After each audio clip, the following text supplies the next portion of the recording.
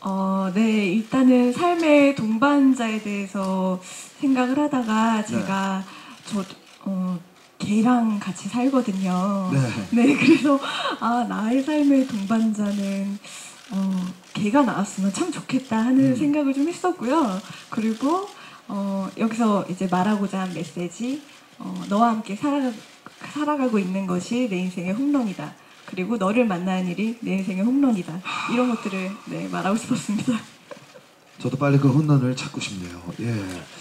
어, 아까 영화 보니까요. 연출뿐만 아니라요. 여러분들 직접 출연까지 하셨고요. 그리고 뒤에 그 나왔던 그 OST 있잖아요. 음악까지도 작곡하시고 직접 노래까지 불렀다고 합니다.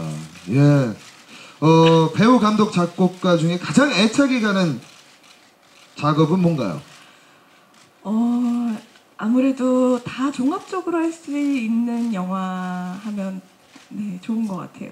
네, 전부 다 할 수 있어서 네. 네, 영화가 좋은 것 같습니다. 뭐- 일단 제가 어, 맡은 부분은 스토리 앨범이라고 뭔가 네. 이렇게 추억이 어, 계속 보여질 수 있는 거 음. 그런 것들이 또 백구를 통해서 백구가 이제 자라나는 성장 과정 그리고 이 둘이 다시 만나는 그 과정을 좀 담을 수 있는 네 그는 그런 기능이 있어서요.